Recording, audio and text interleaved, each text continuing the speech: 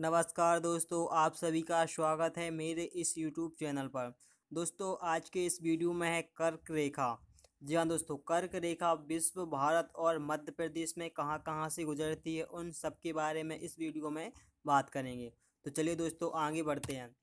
जिन दोस्तों ने मेरा चैनल अभी तक सब्सक्राइब नहीं किया है, प्लीज़ उनसे निवेदन है कि वह मेरे चैनल को सब्सक्राइब करें। या फिर जो दोस्त मेरे चैनल पर पहली बार आए हैं, उनसे भी प्लीज़ निवेदन है कि वह मेरे चैनल को सब्सक्राइब करें, ताकि जो भी मैं अगला नया वीडियो डालूँगा तो उसका नोटिफिकेशन आप तक आसानी से पहुँच सके। तो चलिए दोस्तों, आगे बढ़ते हैं।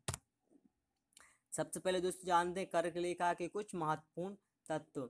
दोस्तों, कर्क रेखा उत्तरी गोलार्थ में भूमध्य रेखा के समांतर पर ग्लोब पर पश्चिम से पूर्व की ओर खींची गई काल्पनिक रेखा को कर्क रेखा कहते हैं।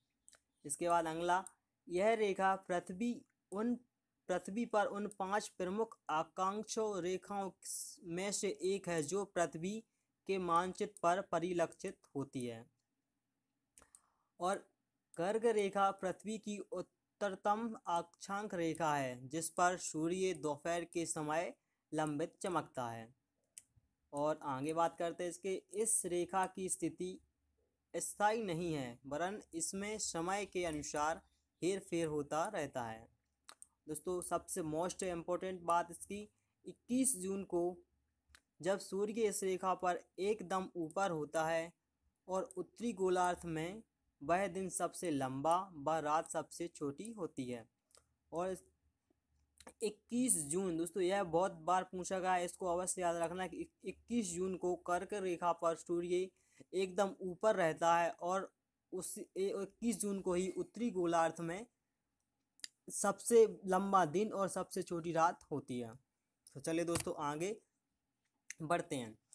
अब जानते हैं कर्क रेखा विश्व के किन किन देशों से होकर गुजरती है। तो दोस्तों यह देश के नाम दिए हैं। सबसे पहला देश है मैक्सिको, फिर अल्जीरिया, माली, मारितानिया, मिस्र, नाइजर, म्यांमार, संयुक्त अरब अशीमत यानी कि यू ए फिर बहामास ताइवान, ओमान, चार्ल्ड, दोस्तों यह उत्तरतम सीमा में है और चीन, बांग्लादेश, मैक्सिको।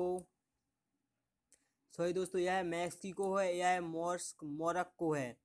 और अगला है सऊदी अरब अगला है भारत देश और फिर उसके बाद है लीबिया। दोस्तों, यह विश्व के और टोटल अठारह देशों से होकर कर्क रेखा गुजरती है। इसके देश को याद करने की यह बहुत ही अच्छा ट्रैक है। आप इसको आसानी से याद कर सकते हैं। ओनली दो लाइनों में है। आप इन दो लाइनों को याद करके इनको आप अपने अनुसार जमा सकते हैं। इसकी ट्रैक में यहाँ पर दी हुए मैं अल्जीरिया वाले मामा के साथ इनाम लेने यू ए गई।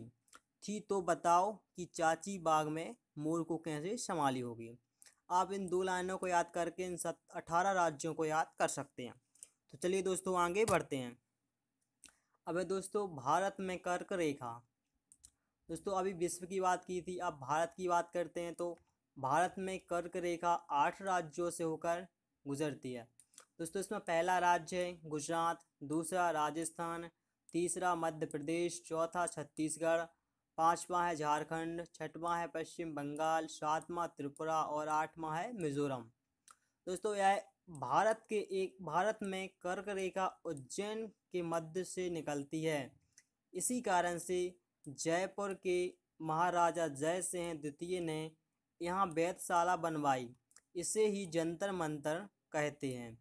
यह खगोल शास्त्र के अध्ययन के लिए है। इस कारण से ही यह स्थान काल गणना के लिए एकदम सटीक माना जाता है और यहाँ से अधिकतर हिंदू पंचांग निकलते हैं। दोस्तों, यह बहुत ही महत्वपूर्ण वाली बात है कि उज्जैन में जो वेदशाला है, वह जयपुर की महाराजा जय सिंह द्वितीय ने बनवाई थी, जिसको जंतर मंतर कहते हैं। और दोस्तों, भारत देश के आठ राज्यों से यह रेखा गुजरती है। और इसके बाद आगे चलते हैं आप बात है मध्य प्रदेश के बारे में। तो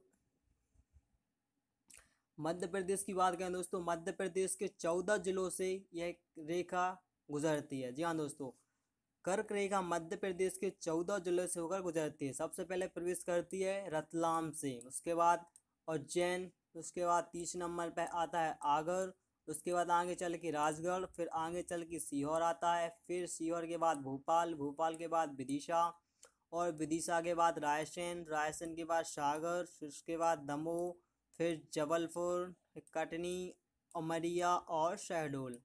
यह दोस्तों चौदह ज़िले हैं जो मध्य प्रदेश में हैं और इससे कर्क रेखा गुजरती है। चलिए दोस्तों आगे बढ़ते हैं। देखिए दोस्तों, यह पूरा मध्य प्रदेश का मानचित्र रहा और यहाँ पर यह कर्क रेखा रेड लाइन में दिख रही है। यह कर्क रेखा है। यह कर्क रेखा पहले से रतलाम में प्रवेश करती है। रतलाम से उज्जैन में और फिर आगर में। दोस्तों, पहले शाहजहाँपुर में पड़ती थी, लेकिन अब शाहजहाँपुर में नहीं पड़ती अब आगर से होकर राजगढ़ में प्रवेश करती है और थोड़ी सी सीहोर में, फिर भोपाल में फिर भोपाल के बाद विदिशा आता है, विदिशा के बाद फिर रायसेन आ जाता है, फिर सागर आता है, फिर दमोह आ जाता है। फिर दमोह के बाद थोड़ा सा जो जबलपुर आता है, फिर उसके बाद कटनी कटनी के बाद उमरिया उमरिया के बाद शहडोल शहडोल से छत्तीसगढ़ में प्रवेश कर जाती है। तो दोस्तों, यह रही कर्क रेखा संबंधित कुछ महत्वपूर्ण तत्व। आपको यह वीडियो यदि पसंद आया हो तो प्लीज़ लाइक ज़रूर करें और शेयर करना ना भूलें। दोस्तों, यदि आपने अभी तक भी चैनल सब्सक्राइब नहीं किया है प्लीज़ आपसे निवेदन है कि आप मेरे चैनल को सब्सक्राइब करें।